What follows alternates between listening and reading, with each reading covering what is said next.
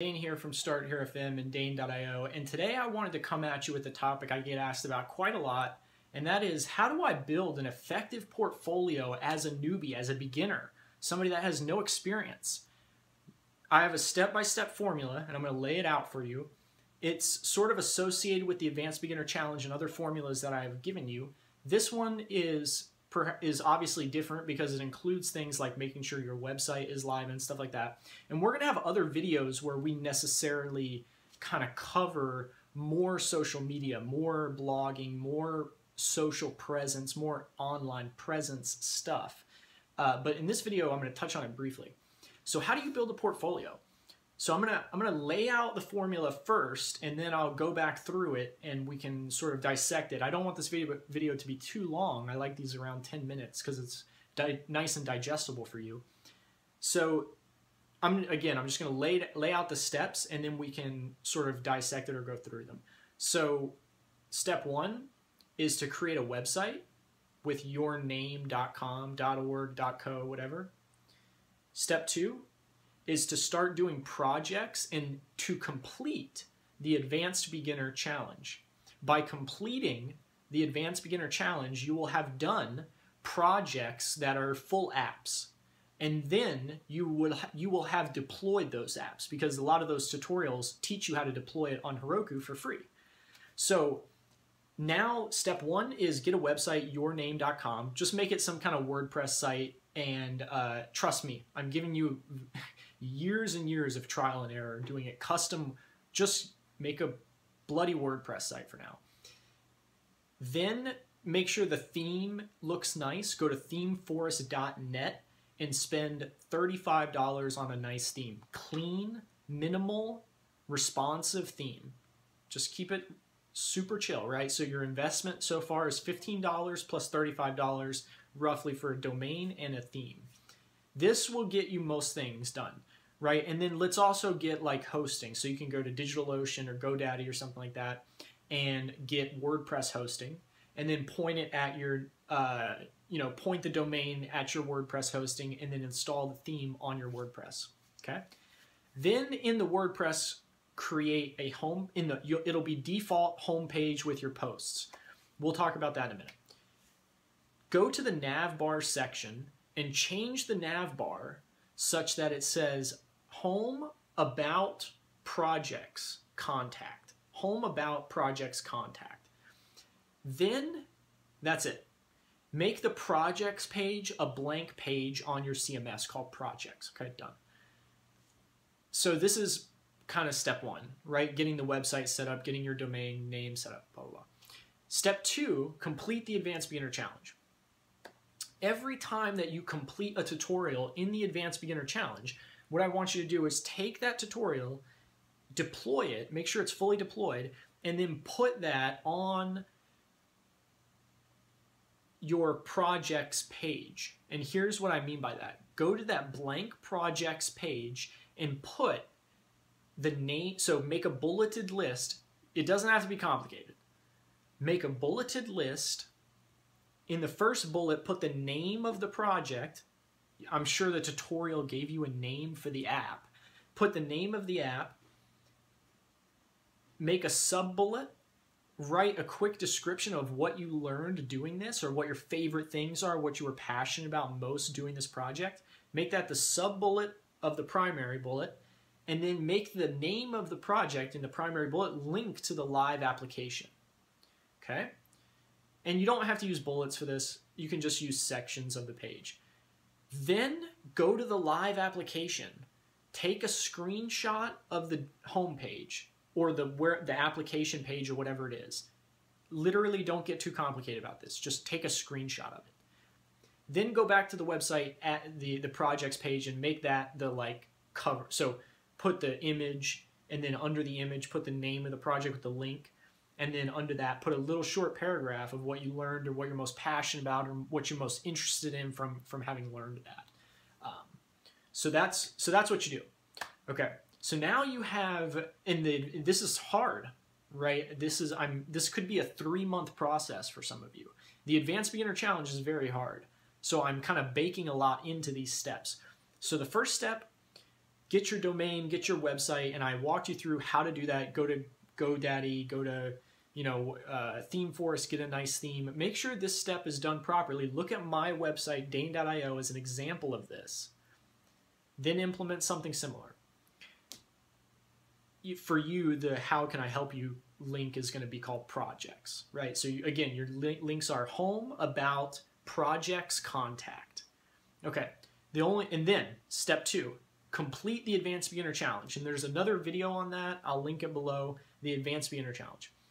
Step three, now that you've got the Advanced Beginner Challenge completed and you have a couple of projects that are deployed that you literally just followed step-by-step tutorials to complete, link those and put those onto your website. Okay, so you've got that done. You have the projects page. Now what we're going to do is we're going to round out the rest of your website really quickly so that we can call this a portfolio. The entire website is your portfolio it's not just the page that says portfolio. And even beyond that, your port personality is your portfolio, your Twitter is your portfolio, but I'm going to keep this focused for now. We can talk about Twitter later and all this stuff. For now, just keep in mind that the website itself is your portfolio, right? Okay, so let's round out the website briefly and then we can end this video. So you have the projects page, and it's got like some stuff in it, and then you, the rest of the website's kind of blank, right? Okay. Number step number one: get a bunch of blog posts created that are filled with dummy text. Create like 10 blog posts, space them out over different dates, and then fill them with like lorem ipsum text for two paragraphs, and then post those. And that's it. This will give your homepage a little bit of data and allow you to look at it and see what looks best, okay? So then go to the homepage, you, should, you should see all these dummy blog posts. Step one done. Step two, go to the About page. Get a photo of yourself. I don't care what you think about this. I know a lot of you are hesitant to take photos of yourself. You're introverted, you're, social, you're socially shy. Guess what I am too right? But I'm recording a video right now. You have no idea how hard this is for me, right? So I'm not extroverted or magical. I'm more, more introverted than you are. I can guarantee it. I'm more shy than you are. I have more anxiety than you do. I guarantee it. Okay? You have to overcome all that. And the way that you're going to do that to start, just a small step, put your picture on your about page. Go to my about page, dane.io slash about. Look at how I did it. There's a little bit of text. It doesn't have to be as much as I did. There's a little bit of text, a picture, and that's it. Just keep it simple, right? Keep it simple. A little bit of text, a picture, and that's it. And I'm going to give you a little formula on how to write your text on your About page, okay?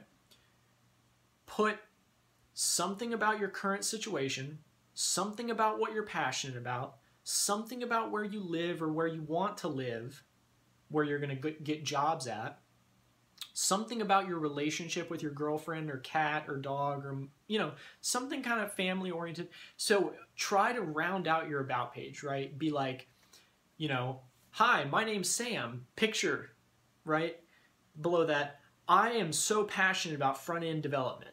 I love blank javascript react. I love redux. I'm obsessed with reactive programming. I love backend and i'm obsessed with machine learning or neural networks or blah blah blah then put my interests outside of work include whatever it is chopping wood, canoeing, hiking, you know, making coffee, like whatever it is for you, right? Hanging out with my girlfriend, hanging out with my family, going to see baseball games, whatever your passion is, biking, rowing, running, you know, a health passion, try to put health try to put a few health passions. Don't just be like don't just be like I play video games all the time or something like that. That's the opposite of what we're trying to do. We're trying to present you in a positive manner. So put some of your health passions there. And if you don't have any health passions, time to rethink your life, my friend. Literally. So put your health passions there. Okay. Then you've, okay, so you're done with, that's it. About page is done. And I'm giving you this formula, what worked for me to close clients, to get jobs without knowing anything, right? You have to get your foot in the door. And the only way you can get your foot in the door is if you look like somebody who deserves to be there, right? So we're this is how you do it. Okay? So you have your home page filled with the dummy text. You have your about page, picture, text, done. Step three, projects page. You've already done that, right? We described that already, so done. Step four, contact page. Very, very simple. It just has your email and it says, please contact me if you have any questions or need or have any opportunities or want, you know, just put a little text there like, please feel free to contact me for any reason. And then put your email. Now, I recommend putting your email and then bracket at bracket because web crawlers will pick up your email and spam you. Um, so do it in a clever way. But now you have your contact page. So now you have your homepage, about page, projects, contact. This is a complete portfolio. I see people making portfolios way too complicated they think they have to have a fancy website and it has to be custom built and it has to be built with React and Redux because they want to be a JavaScript developer. And then on top of that, they have to have stuff to put in the portfolio that they built on React and Redux that they don't even know what they're doing. It's like you've made this so complicated that you're literally never going to do it. What you have to do is you have to make it so simple that it seems stupid. Most things that I have been able to do are because I found somebody who showed me how to make them so simple that they seem stupid because then it tricks your brain into just doing it. Right? I think I talked about this in a previous video, but it's either trick or be tricked. Right? You trick your brain or your brain is being tricked. And this is true for marketing, it's true for advertising, it's true for playing poker. If you're not if you don't know who the sucker is, you're the sucker, right? It's true for tricking your brain to be productive, right? So it's it's applicable in, across every area of life, but I find very few people actually apply it. So trick your brain, and in this scenario, we're saying trick, you know, trick your brain into thinking that this project isn't as big as it is, right? A portfolio. It's just what we discussed. It's just a website that you buy from ThemeForest for 30 bucks and install with one click, and then it's like a couple of buttons in WordPress to add the about pages. It's a couple of buttons to add the, the projects page. Then you do the advanced beginner challenge, which is the hard work. Do the tutorials. But guess what? That's not even that hard. Just follow the tutorials step by step for the love of God. Now that you've done that, and again, I'm not trying to teach you how to cheat anything. I'm trying to make it so that you can get into a job because I know you're going to learn everything you need there, not before that and also opportunity cost, right? So, you know, once you've got the projects page, we've showed you how to do the advanced beginner challenge and really add some content to that page. Then one other page, contact, and you're done. That's your portfolio, okay? In another video, we're gonna go on to how to actually send your portfolio to people, but in this video, this covers how to build a portfolio, AKA your website, with a projects page that has projects that you weren't paid for, that you didn't have to go out and find in a hard way. This is a realistic process. This is realistic for you. So I hope you apply this. Comment below and let me know if you're going to apply this and link your website. If you want more traffic, we'll all go and check it out and we'll leave you comments and talk about what we think. Cool. Thanks so much, guys. Talk to you soon.